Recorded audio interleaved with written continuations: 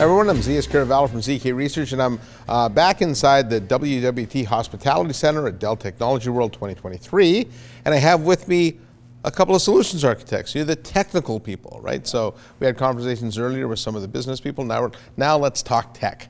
Uh, so first up, uh, Steve McCall. Uh, you, are a solution architect in the area of compute, right? So uh, maybe just a brief description of the uh, the areas that you that you that you're proficient in. Sure. Yeah. So my background is a lot of data center infrastructure, storage, compute, virtualization, uh, networking. My role here at Worldwide Technology has me focused on the Dell PowerEdge portfolio and everything that goes along with that, such as OpenManage. Okay, that's a big portfolio too, getting bigger, right? It's growing. So, yeah. And uh, Mike Ambruso? So I'm responsible for uh, all things data protection and uh, the data protection end of like the cyber resiliency conversation. So um, basically ensuring that if the worst happens, you're able to get something back. So it's all the stuff that lives on the server in a way. Yeah. Yeah. Yeah. So I'm responsible for the zeros and ones. yeah. Uh, that's it. That's actually a fascinating area because it's got so much applicability to so many other things. So, uh, but first, let's talk, talk uh, the event itself. We're here at Dell Tech World. Uh, this is day two, right? We had a, uh, some keynotes yesterday. We had some keynotes today. There's been lots of customer interactions, I'm sure. Uh, what are some of the things that, uh, we'll start with you, that, that, caught your eye, maybe surprised you, um, you liked? I really enjoyed some of the remarks Michael made around AI in the keynote. Um, specifically, some of the things he was talking about where um, chat GPT and general large language models are not going to be the solution to most of the business's problems. Right. Really the idea of a specialty trained AI, um, co-pilot type concept to uh, help with specific business problems as opposed to just dumping everything into a large language model and playing what's the next word. Yeah, actually, I just uh, I wrote a blog about that. That yeah. I'll make sure I include in the YouTube description below. But uh, the analogy I use, it's a little bit like search, right? We have general search with Google, right? Uh, but if you're a law firm, you use LexisNexis, right? Exactly. And, and uh, even if it's a consumer, if you're trying to find information on say restaurants, you go to Yelp right? And so the, that general chat GPT, uh, I think the way it works is something that we'll use in business, but the, the, the data that uh, you model it from will be unique to, to, to, industries or even in some cases some some uh, uh, some right. companies. Yeah. Especially for stuff that's proprietary. You know, yeah. I mean, you don't want all of that out into the wild. Yeah, yeah, and actually that in a lot of ways that helps with hallucinations and bad data and things like that because exactly. it is a curated data set. Precisely. Okay. And what about you? What, what are your some takeaways from, from the event?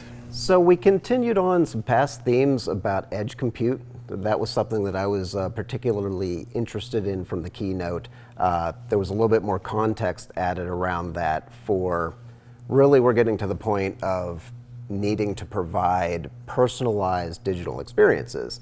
And we think about we might think about that and edge compute more in the consumer space that we need to make business decisions out at the edge. But also, Michael mentioned an organization needs to kind of reimagine itself for the times that we're living in with AI as well. Uh, so not only is that going to drive edge compute for the customers, but also edge compute for businesses internally, so that they can provide a different experience for their for their workforce. Yeah. So how how should companies think about edge? I um, I was having uh, dinner with the CIO friend of mine, and we were talking about Edge, and I asked if he has any plans, and he goes, I don't really understand what that is. He goes, because every, I talk to a telco, it means one thing. I talk to Dell or whatever, who means another. I talk to a 5G operator, it means something else. So well, how do you define edge? It is, and you and so you need flexible solutions that can answer some of those different areas that, that it needs to go into.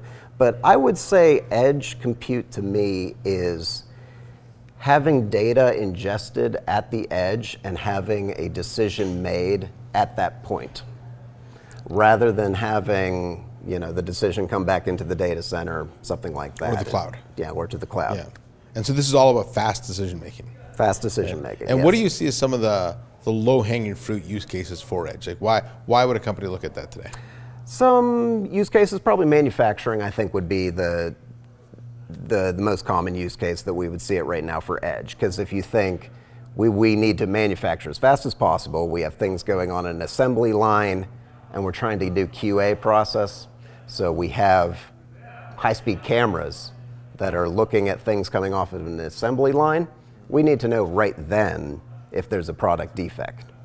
Yeah, I've always said that the uh, uh, ultimate uh, sort of use case for edge is the self-driving car, because if you're going to decide whether to stop or not, you want that done in car.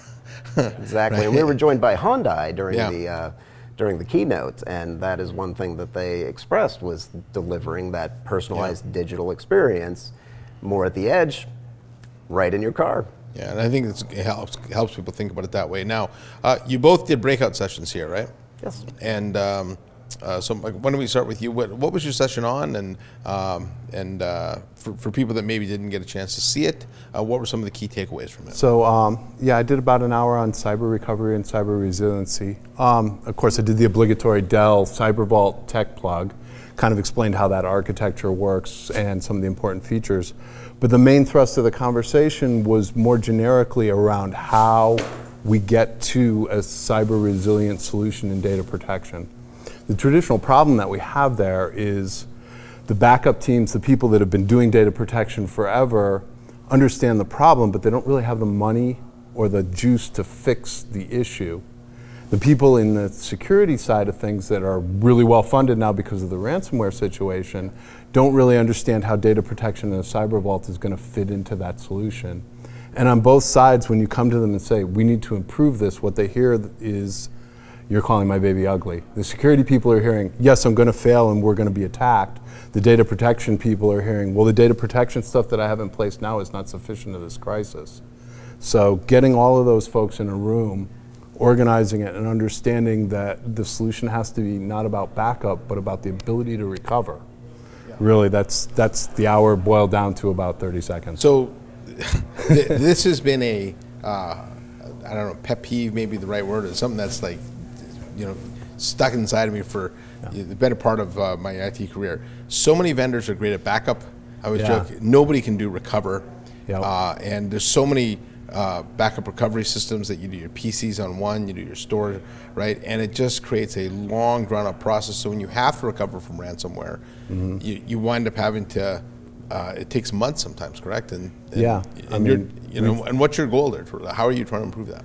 Well, the important thing is to ensure that you have a copy that is essentially offline of the key data that's necessary to run the business, right? I mean, businesses have a huge amount of da- data, but the stuff that you're not going to be in business if you can't give it back, the stuff that you have no choice but to pay the ransom if you can't get it back, that's what needs to be in your cyber vault.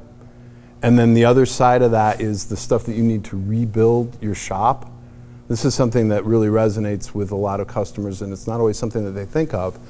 Is the first thing you have to rebuild is all the infrastructure, because it's going to get wiped down to the ground. Yes. So having things like your Active Directory, having DNS, switch configurations, storage array configurations, nobody really thinks about that stuff.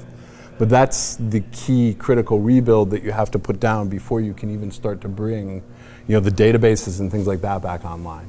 Yeah, and, and I talked to some customers and say, well, we do snapshots, but snapshots aren't enough, are they? No. Um, you know, in fact, I've been walking around for the better part of a decade saying snapshots aren't really backup. Yeah. Because should get T-shirts that say that. Yeah, because it's not on a separate platform, which means that if something happens that compromises that platform, you lose the whole array, you lose the snapshots with it. Um, so, you know, one of the keys to actually having a true backup of something is that it's on a different platform or a different kind of medium. And uh, I, I'm glad you brought up um, uh, the two different groups, right? One that looks at backup recovery and one that looks at uh, cyber. I, I actually wrote a blog this week where I talked about how those two functions need to be integrated and backup recovery should actually be part of every company's cyber strategy. And, uh, and are you seeing more of that? I'm seeing businesses that are successful at developing a full cyber resiliency strategy absolutely have to have those two parts of the business talking together. Well, let's hope there's more of it. And if it doesn't come from the top down, if there's not buy-in at the highest levels, it, you're not going to succeed. Okay, and uh, so that's a good point if you're watching this. That this it does need top-down uh, directive here because it's hard for one group to subsume the other without that. Yeah. The places I've seen that really succeed are, are where you have that, indeed. Now, Steve, what about your session? I, I poked my head in there a little bit and saw a little, uh, saw some of it. Yeah. Sure. My session today, I uh, presented on the OpenManage Enterprise plugin for VMware vCenter. O M E V V, I think, right? OMEVV is the is the acronym for Yeah. that. Yes, it's a mouthful, but Because yeah. Dell and VMware both love their acronyms. So, The- yeah. and long ones too. Yeah. Yes, yes. So what that plugin allows you to do is bring some of the hardware management and functionality into the vSphere console. So you just don't really have to be managing from different uh, platforms, from different uh, interfaces. It can also allow the hardware team to maybe give some control to the VMware team to be able to handle some of the own, their own infrastructure. Yeah, and so that creates that, you know, long sought after single pane of glass, if you will, versus having to run them separately. That's what we're always trying Yeah, to do. yeah. Uh, so we can do bare metal ESX deployments that we demoed uh, in my session. Uh, but the one thing we can do is integration with the VMware Lifecycle Controller. And this will allow the vCenter administrator to handle the ESXi image and do the firmware management of the server. So if you think of an upgrade cycle, Sometimes it's the VMware team that handles theirs in their own maintenance window, and then the hardware team that handles theirs in their own maintenance window. Well, why not do them both at the same time? Yeah, why not? I suppose. Uh, now I know at the show they announced some new hardware, uh, and earlier this year they announced the 16G PowerFlex as well. Uh, what's customer feedback been on the on the new product? Uh, new product, so it's introducing new processors. Uh, we're getting a four socket box Yeah. back. That's something uh, that we haven't had since 14th generation. So I think that's going to have a lot of excitement for workloads that would benefit from a four socket. And what do you see some of those workloads being? A lot of database heavy applications. Uh, now, the processor manufacturers, too, one thing they're doing is building a lot of accelerators into the silicon. So that's also enabling some enhancements with the software workload that would run on top of it, such as a database. Yeah, uh, all right. And um, uh, what about for AI workloads? Since we started off talking about that, uh, what is that? How does that? Because Michael actually referenced this in his uh, keynote uh, that it, they really have to change the architecture, even the way they build the products, right? And so, Yeah. what are you seeing for hardware requirements there? Well, A- AI is shaking things up uh, because it is how do we do the compute? Is it the traditional linear way of doing processing?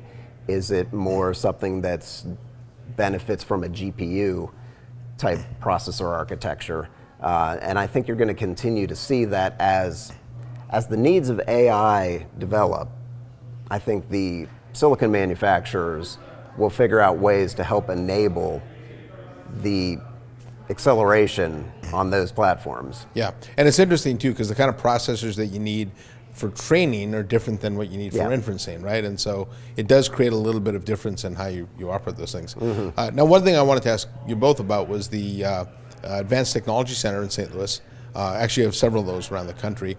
Um, the types of you know simulation you did here, and you know some of the training you do. You can. Uh, I'll, I'll start with you. Um, uh, how how can you how can customers leverage the ATC to be able to do that? Sure. Yeah, so the session that I uh, did today with OMEVV, I did run it on hardware that we have in the ATC, so an MX7000 uh, chassis environment. And the way you access this is through WWT.com. So customers can go out, register for an account, and they're able to see all the things that we're doing inside the ATC articles, proof of concepts, as well as access the lab. So we have on-demand labs that a customer can click, and right through their their browser is delivered. Hmm. So they can actually test without buying any equipment at all. Yeah, that's the idea. yeah, yeah. So it, it's it's partnering awesome. with Dell to make sure we have the latest and greatest, the, so that we can showcase it to them. And if they want to sign up, they can just do it right off the website, right? Just go So- on to wwt.com. So I'll include a link to that as well. And how about in your area? So I have a great example of that. Um, Dell just released their DM5500, their new integrated appliance, and we were getting one in the ATC. Um, I was planning on flying out Monday afternoon, do the install Tuesday, Wednesday. I get a call Monday morning from one of our account teams. It's like, can we POC a DM5500? And I'm like, not right now, but you know we're going to get this stood up, and um, I'll let you know how it goes. Call them back Wednesday afternoon when we finished up. and we had one in the lab. Wow.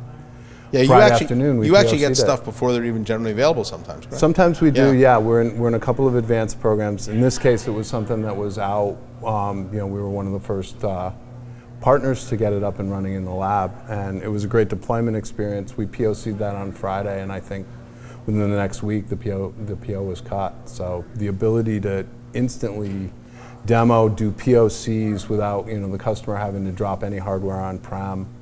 Um, and of course, we have all of the hands-on lab capabilities. Yeah. So if you want to go see that Dell Cyber Recovery solution, we can spin that right up, demo it, show all the facets. And I've looked through some of those labs. In some cases, you actually give step-by-step directions on how to run the lab Absolutely, as well. yeah. So you, you, you simplify it as much as you can. Yep, uh, we have lab guides so you can either follow along or if you just want to go at your own pace, Yep. free to do that as well. All right. Well, thanks for the description of your sessions. Uh, hopefully, you'll be able to replicate those, you know, in the in the WWT environment. Uh, and uh, so, on behalf of um, of Steve and Michael, thanks for joining me. I'm Zeus Kerravala from ZK Research, and I'll see you next time in another video.